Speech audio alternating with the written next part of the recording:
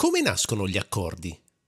Per rispondere a questa domanda è inutile tirare in ballo strane teorie sul fatto che appaiano magicamente sotto i cavoli o che siano coinvolte api, fiori o cicogne. La verità è semplice. Tutto parte da intervalli musicali che si incontrano, si conoscono, entrano in sintonia e in un profondo atto di passione per la musica decidono di mettere su famiglia e dare vita ad un accordo. In questa prima puntata partiremo dal caso più semplice, che vede protagonisti due intervalli musicali molto speciali che scopriremo fra poco, che hanno dentro di sé delle istruzioni armoniche che sono le fondamenta per costruire il particolare carattere e le sensazioni trasmesse da un accordo di base, un po' come i geni di un immaginario DNA armonico. E dato che in natura esistono diverse varianti di ogni intervallo, è proprio il modo in cui si combinano gli speciali geni armonici di ognuna di queste varianti a decidere quale accordo nasce quando si mescolano fra loro. Ma come avviene questa magia? Beh, senza entrare nei dettagli su come avvenga concretamente questa amorosa mescolanza di essenze musicali, chissà, magari lo scopriremo in una prossima puntata speciale, ma devo studiarmela molto bene per non rischiare che mi chiudano il canale. Scegliamo un approccio più scientifico, ma non troppo e rinfreschiamoci velocemente la memoria su che cosa sia un intervallo musicale, l'ingrediente base dei geni del DNA armonico.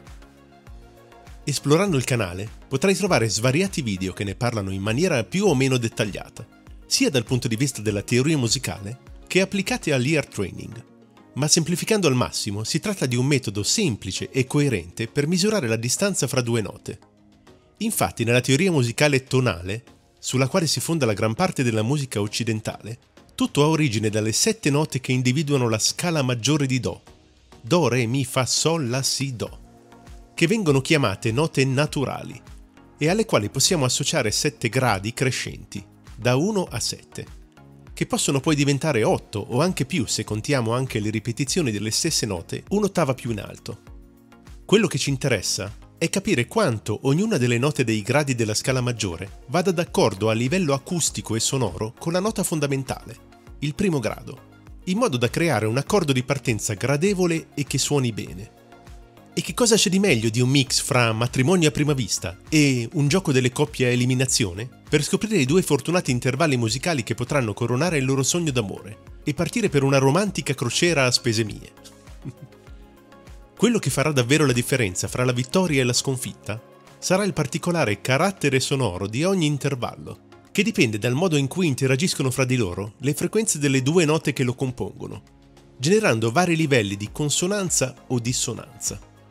Ovviamente il primo grado ha già vinto in partenza e farà sicuramente parte dell'accordo, essendo la fondamentale dell'accordo stesso, cioè la nota a partire dalla quale viene costruito. I nostri concorrenti non hanno alcuna possibilità di barare, perché la consonanza nasce da un fenomeno fisico strettamente legato al concetto di armonici di un suono, che abbiamo già esaminato nel video dedicato al timbro sonoro, studiando l'onda sonora prodotta da una corda di una chitarra. Link qui sopra e in descrizione.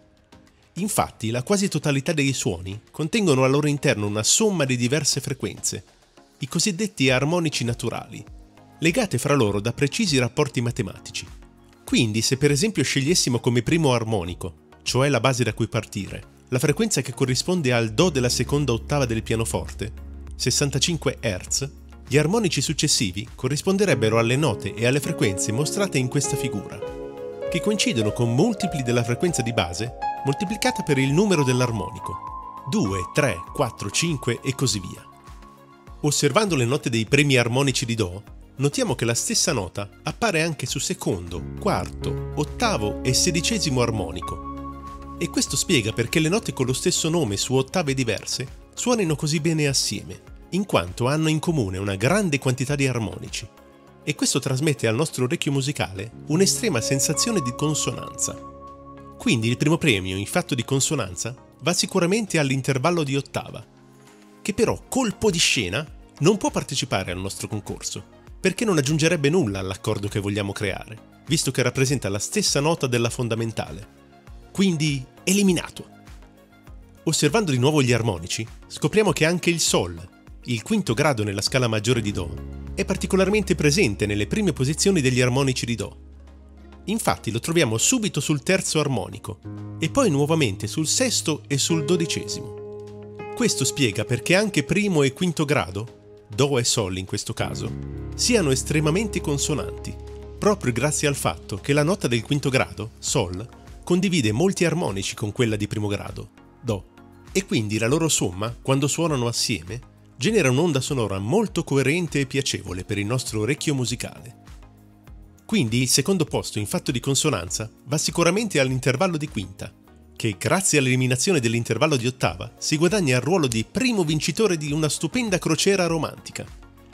Ora non ci resta che scoprire assieme a chi vivrà questa fantastica esperienza.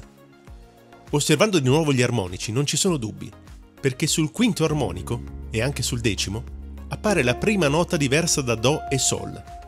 È il Mi, che in questo contesto corrisponde all'intervallo di terza maggiore. Ed ecco che abbiamo i nostri vincitori, che in fatto di consonanza con il Do sono veramente dei campioni. L'intervallo di quinta giusta e l'intervallo di terza maggiore, che assieme alla fondamentale danno vita all'accordo più stabile e consonante in assoluto nella musica tonale la triade maggiore. Per gli altri concorrenti non tutto è perduto, perché li incontreremo di nuovo in una delle prossime puntate di questo fantastico gioco a eliminazione. Un attimo, che cosa sta succedendo? Colpo di scena! I vincitori si sono trovati subito talmente in sintonia da non riuscire a resistere alla passione e dietro le quinte hanno già iniziato a sfornare triadi maggiori. Forza, datevi un contegno e venite a salutare il pubblico e a ritirare il vostro premio una fantastica crociera nel mare dell'armonia, per conoscervi meglio e soprattutto per scoprire che cosa realmente siete in grado di fare lasciandovi un po' andare ed esplorando le interessanti possibilità creative delle differenti versioni dei vostri intervalli, nascosti all'interno del vostro DNA armonico.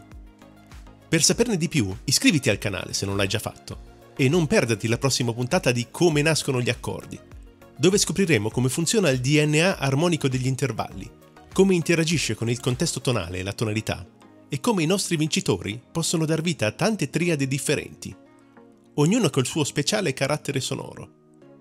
Alla prossima!